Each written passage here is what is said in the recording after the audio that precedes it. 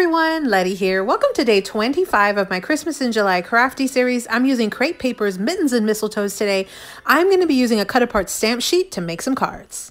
So welcome back everyone for hashtag PPP Christmas in July today. I'm using Crate Papers, mittens, and mistletoe. I have used this for several projects so far. This is a 12 by 12 paper pad. Um, I think this was maybe the collection that came out last year. I'm not for certain. I just know that it's an older collection. So this is single-sided 12 by 12 paper. And one of the things that comes in this paper pack is a, a sheet that has nothing but stamps.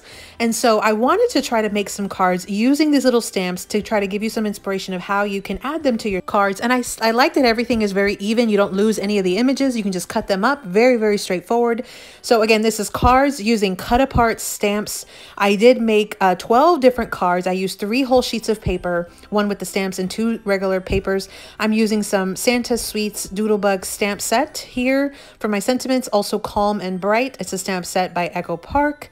So I did use the little uh, Happy Holidays and I did do some uh, stamp surgery on that one. Celebrate Christmas by Echo Park, and I use a little snowflake. You do have a ton of little snowflakes on this stamp set. So those are the three main stamp sets I used.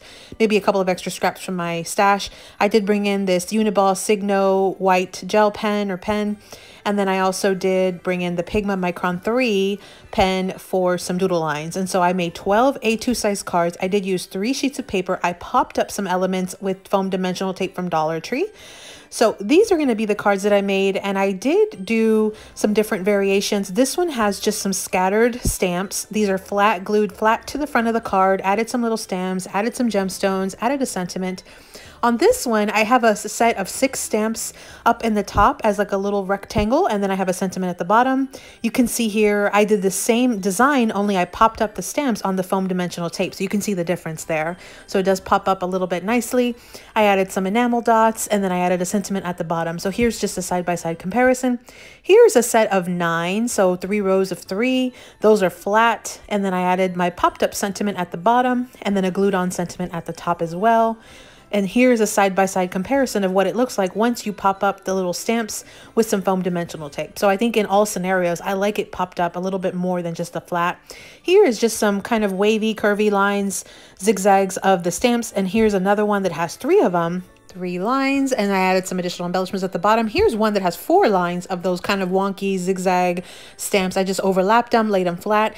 Here's one that has three lines, but I did pop them up on foam dimensional tape. I also popped up the sentiment, which is on a little stitch circle. Also on foam dimensional tape, added some embellishments to the side. You see there, it's very dimensional. And then here's one where I did like a frame and then I did do my sentiment in the middle. I added a couple of doodle lines just to kind of break up for some more interest. Here's another one where I have a full panel of stamps. And here's the difference between when it's popped up and when it's not. This one also has stamps right in the middle as well. And I'm covering up some of it with the sentiments. Here's one where it's actually popped up. And so comparing to the flat one, so you can see here it is popped up a little bit. Again, I think I like the ones that have it popped up a little bit or raised. So again, I made 12 cards using some stamp cut apart sheets from the Mittens and Mistletoe by Crate Paper Paper Pad for hashtag PPP Christmas in July. Thanks for watching, everyone. I hope you're getting a ton of inspiration with all of these crafty projects that I'm making. Here's my Christmas playlist just in case you want some more inspiration. Happy holiday crafting.